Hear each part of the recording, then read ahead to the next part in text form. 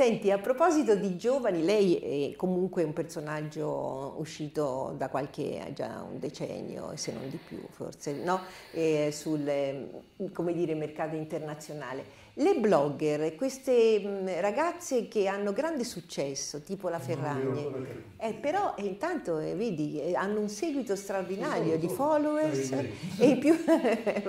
no, e fra l'altro eh, forse portano anche, senza forse, un, un afflato nuovo, una spinta nuova anche sullo stesso mercato, perché per esempio Burberry eh, dopo la sfilata ha pensato di andare subito online nella, con la vendita dei suoi capi. Questa pure è una novità come quella bisex di Gucci. Che non ne pensi? Con con le... E però sono le spinte della creatività eh, giovane che porta anche a nuovi modi. Sono delle ragazze che prendono così le cose che credono che faranno presa sul punto. E poi fanno presa, eh? eh? fanno anche presa. Mm, mm, va bene.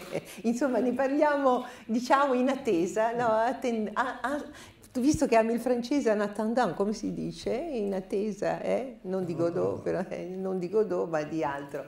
Senti, allora, un saluto all'opinione moda e come mantenere questa forma di eh, giudizio eh, che non sia influenzato dal mercato, dal marketing, da, a volte anche persino dalla corruzione economica. Insomma, che cos'è la moda per te? Così eh, sappiamo, perché visto dalla moda, tua... Per me la moda è la mia vita, perché io avevo 20 anni, 22, non so quando ho cominciato, e, e ho sempre vissuto di quello praticamente, perché la parentesi antiquaria, decorazione, così, è stata una parentesi vera.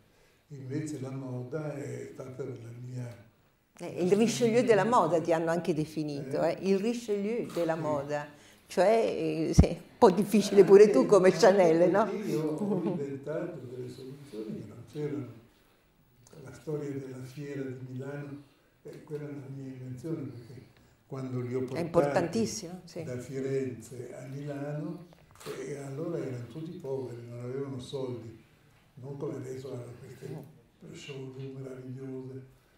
E allora io sono andato in fiera con la quale lavoravo e c'era il presidente, si chiamava Franzi, era un bellissimo signore, molto elegante, molto anziano, e io sono andato a trovarlo e gli ho detto, senta, io vorrei che lei mi desse un, un salone, un, un, un padiglione l'ho guardato, mm. perché io poi ho aggiunto, io non ho soldi. Mm.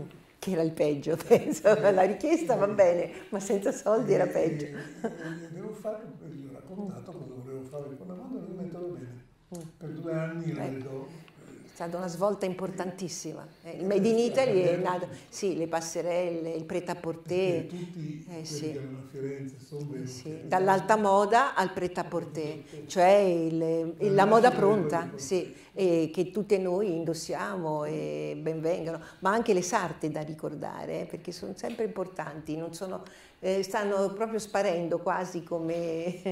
Ma sì, ma ce ne sono ancora e forse le incontreremo anche con l'opinione moda.